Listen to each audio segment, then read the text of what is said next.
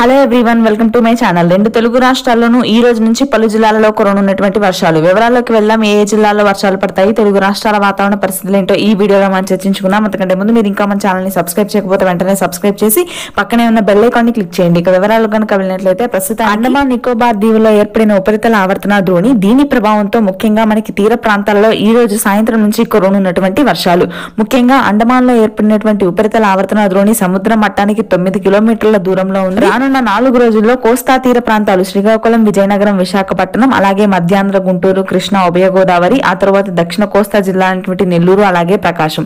ఈ జిల్లాలన్నింటిలోనూ వర్షాలు పడవు కానీ తీర ప్రాంతాల్లో మాత్రం అక్కడక్కడ ఒక మోస్తరు నుంచి భారీ వర్షాలు కురుస్తాయి. ఇక అరేబియా మహాసముద్రంలో మరొక అల్పపీడనం ఏర్పడింది. దీని ప్రభావం మనకి మధ్యాంధ్ర అలాగే మధ్య తెలంగాణ మీద ఉంటుందని వాతావరణ కేంద్రం హెచ్చరికలు జారీ చేసింది. ముఖ్యంగా మనకి అరేబియా మహాసముద్రంలో ఏర్పడిన ఉపరితల ఆవర్తన ద్రోణి అనేది నెమ్మదిగా స్థిరంగా కొనసాగుతూ ఛత్తీస్గఢ్కు విస్తరించింది. రానున్న ఇరవై నాలుగు గంటల్లో మనకి ఛత్తీస్గఢ్ మీదుగా తెలంగాణకి విస్తరిస్తుంది. తెలంగాణలోని ఆదిలాబాద్ నిజామాబాద్ నల్గొండ ఆ తర్వాత వరంగల్ అర్బన్ ప్రాంతము మధ్యాంధ్ర గుంటూరు కృష్ణా ఉభయ గోదావరి జిల్లాలో ఈ రోజు రాత్రి లేదా రేపు ఉదయానికి భారీ వర్షాలు కురుస్తాయి. దీనికి సంబంధించిన లేటెస్ట్ అప్డేట్ అయితే ప్రస్తుతానికి వర్షాలు మాత్రం మనకి మధ్య తెలంగాణ మధ్యాంధ్ర అలాగే కోస్తా తీర ప్రాంతాలలో కురుస్తాయి. చలి తీవ్రత బాగా పెరుగుతుంది. Thanks for watching this video please do subscribe thank you